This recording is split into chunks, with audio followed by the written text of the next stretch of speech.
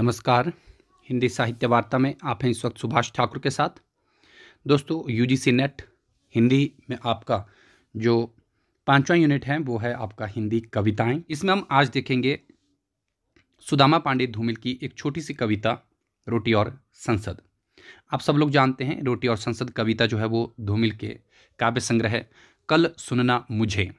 सुदामा पांडे धूमिल के जो काव्य संग्रह रहे हैं, उसमें संकलित है। एंड सुदामा पांडे धूमिल ने कल सुनना मुझे के अलावा दो अन्य संग्रह भी रचे हैं, जिसका एक का नाम है सुदामा पांडे का प्रजातंत्र और दूसरा है संसद से सड़क तक। तो ये तीन जो काव्य संग्रह रहे हैं सुदामा पांडे धूमिल के। इनमें से जो रोटी और संसद नामक कविता है, ये कल कल सुनना मुझे नामक काव्य संग्रह रहा है, उससे ली गई है। इस कविता में देश की जो प्रमुख समस्या गरीबी है, इसके संदर्भ में ये लिखी गई है। इसमें इनकी जो प्रगतिवादिता का जो स्वर है वो देखने को मिलता है और देश में जो सामाजिक विषमता है जिसके कारण गरीब और अधिक गरीब होता जा रहा है और जो पूंजीपति वर्ग है या जो उच्च वर्ग है उन दोनों के बीच की जो सत, जो खाई है वो क्या है? वो लगातार बढ़ती जा रही है। तो यहाँ पर जो पूंजीपति वर्ग है उसकी सत्ता की जो डोर है वो अपने हाथ में लेकर किस तरीके से गरीबों का शोषण करता है इवन उनकी रोटी तक को वो छीन लेता है ये सारी चीज़ें जो हैं इस कविता में इस छोटी सी कविता में इन्होंने बताने का प्रयत्न किया है। और इसमें ये बताया गया है कि जो सर्वहारा वर्ग है, सर्वहारा यानी कि जो आपका, जो सब कुछ हार चुका है, उससे रोटी का अधिकार भी कहीं ना कहीं छीनता जा रहा है। और इसी कारण आम आदमी की रोटी भी जो है उसको दो जून की रोटी भी सही से नसीब नहीं होती है। इस कविता का मर्म यही है कि आज़ादी के बाद भी आज हमारा बहुत सारा तबका ऐसा है जो दाने दाने का मोहताज है। तो चलिए देखते हैं इस कविता की थोड़ी सी यहाँ पर पंक्तियाँ और उसकी व्याख्या करने की कोशिश करते हैं। यहाँ पर देखिए पहले कविता क्या है, इसमें लिखा गया है, रोटी और संसद, एक आदमी रोटी बेलता है, एक आदमी रोटी खाता है। एक तीसरा आदमी है, जो ना रोटी बेलता है, ना रोटी खाता है, वह सिर्फ़ रोटी से खेलता है। मैं पूछता हूँ, यह तीसरा आदमी कौन है? मेरे देश की संसद मौन है। यहाँ पर देखिए सुदामा पांडे धूमिल जी ने हमारे सामने एक गरीब जो आदमी रहे देखना, उसके उसकी जो मार्मिक दशा है उसका चित्रण किया है। और पूछा गया है कि एक आदमी रोटी बेलता है। यहाँ पर रोटी बेलने वाला जो आदमी है देखिए वो कैसा आदमी है वो कहीं ना कहीं जो आपका मजदूर आदमी है ठीक है? जो आ, क्या कर रहा है रोटी पाने के लिए जो है वो कड़ी मेहनत करता है। तो रोटी बेलने वाले से मतलब यहाँ पर है कि जो इंसान अपने आजीविका कमाने के लिए दिन रात संघर्ष करता रहता है जो कामगार वर्ग है वो यहाँ पर बताया गया है जो रोटी बेलने का काम करता है। लेकिन एक दूसरा आदमी है जो रोटी खाता है। कैसा आदमी है? रोटी को खाने वाला आदमी है और तीसरा आदमी है जो रोटी से खेलता है, ना तो उसको वो खाता है, ना ही उसको बनाता है। और यहाँ पर इस तीसरे आदमी की ही पहचान के लिए जो है, प्रश्न किया गया है कि ये तीसरा आदमी कौन है और इसका उत्तर वो हमारी संसद से माँगता है और वो संसद भी उसका उत्तर नहीं दे पाती है कि ये तीसरा आदमी कौन है। क्योंकि इस तीसरे आदमी के हाथ में ही सारी बागडोर है, संसद भी इससे क्या है? इसी से ही है, ठीक है? तो ये है हमारे सत्ताधारी जो आदमी, एक तो वो ही खुद ही है, दूसरा इसमें जो पूंजीपति है और तीसरा जो अफसरशाही हैं, है ना?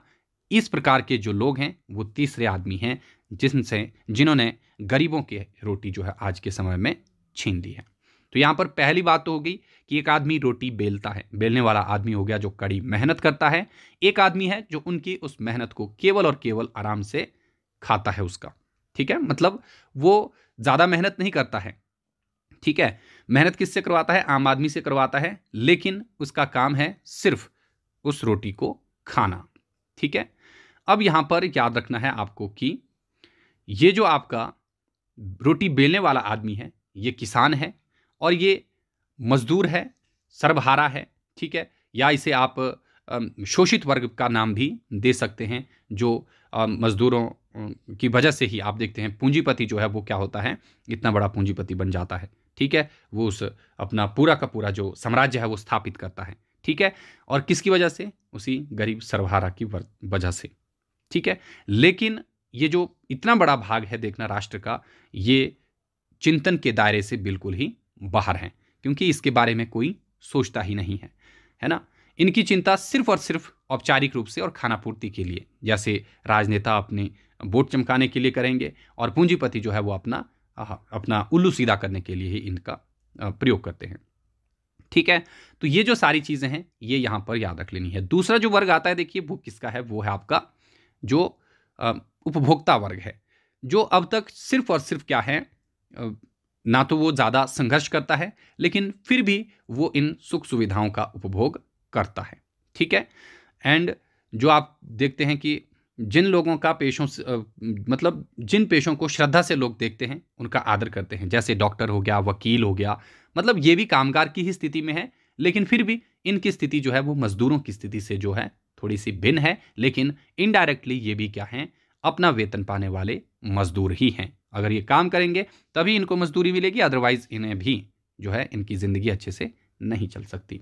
तो दूसरा वर्ग हुआ यहाँ पर, एक आदमी है जो रोटी खाता है। खाने का मतलब है कि उसकी ज़िंदगी पहले वाले वर्ग से कहीं ना कहीं थोड़ी सी ठीक है।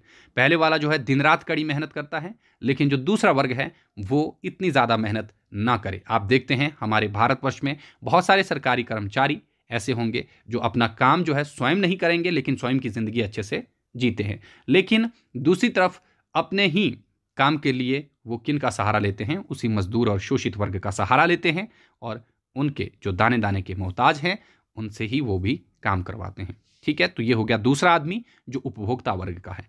अब आता है तीसरा आदमी जो रोटी खेल से खेलता है, वो है आपका मुनाफाखोर। उसको कोई फ़र्क नहीं पड़ता कि एक गरीब भूख से मर रहा है या जी रहा है, बस उसको अपना मुनाफा चाहिए, उसके पास जो पूंजी है वो और होनी चाहिए, क्योंकि उसे पता है रोटी तो उसे मिल ही जाएगी। ठीक है, रोटी मिलने का मतलब है कि उसकी आजीविका तो चल ही रही है तो वो उसको और ज़्यादा उसी के पीछे भागा हुआ है पूंजी के पीछे ही। तो इसमें आपके जो पूंजीपति शासक पूंजीपति वर्ग है शासक वर्ग है सत्ताधारी लोग हैं मुनाफाखोर हैं है ना और जो नौकरशाही अफसरशाही के लोग हैं वो इसमें आपको देखने को मिल जाते हैं। तो ये चीज़ यहाँ पर आपको याद रख लेना है जो आ, मतलब क्या करता है ये जो पूंजीपति वर्ग है देखना ये कहता तो है कि मैं जन सामान्य के साथ हूँ लेकिन ये सिर्फ़ और सिर्फ़ एक ढोंग ही है। ठीक है?